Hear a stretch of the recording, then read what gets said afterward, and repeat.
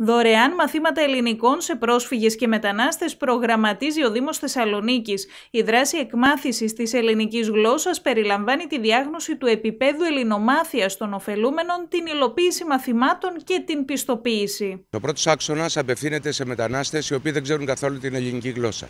Είναι 120 ωρών και στόχος είναι να μάθουν τουλάχιστον στοιχειώδη ελληνικά. Ο δεύτερος άξονας έχει να κάνει με άτομα που γνωρίζουν αρκετά καλά τα ελληνικά, αλλά όπως γνωρίζετε βάσει του νόμου πρέπει να δώσουν εξετάσεις για να αποκτήσουν την ηθαγένεια και απευθύνεται λοιπόν σε αυτούς για να τους μάθει όσο γίνεται καλύτερα όχι μόνο τα ελληνικά, αλλά και όλα τα άλλα απαιτούμενα για να δώσουν αυτές τις εξετάσεις. Και η τρίτη δράση απευθύνεται σε γυναίκες όπου θα επιδιώξουμε την επαγγελματική τους αποκατάσταση μέσω εκμάθησης διάφορων δραστηριοτήτων και δεξιοτήτων. Βασικός στόχος του συγκεκριμένου άξονα είναι η κατάκτηση των γνώσεων για κάθε επίπεδο ελληνομάθειας και η πιστοποίησή τους. Σκοπός του προγράμματος είναι να βοηθήσει στην ένταξη των προσφύγων και των μεταναστών στον κοινωνικό ιστό της πόλης.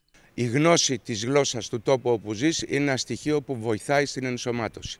Επίσης θα θέλω να πω το ότι ε, υπάρχει ένας προγραμματισμός για, έναν, για μια ένταξη μάλλον αυτών των ανθρώπων που, που έχουν μια κάποια επαγγελματική δραστηριότητα που στην γλώσσα των ειδικών λέγεται κοινωνικός εγγραμματισμός, δηλαδή ένας, ένα γκαρσόνι, με, του μαθαίνουμε, θα μαθαίνουμε σε ένα γκαρσόνι του πώς πρέπει να απευθύνεται στους πελάτες τέτοιου είδους δηλαδή ε, ε, γνώσεις, που είναι απαραίτητες βέβαια για να μπορεί ο άλλος να σταθεί επαγγελματικά. Για το κάθε επίπεδο προβλέπονται 120 ώρες μαθημάτων και μπορούν να συμμετέχουν έως 20 ωφελούμενοι για κάθε επίπεδο επάρκειας για τη συμπλήρωση της αίτησης συμμετοχής και για οποιαδήποτε επιπλέον πληροφορία οι ενδιαφερόμενοι μπορούν να καλούν στα τηλέφωνα 23 13 31 89 59 και 23 13 31 86 47.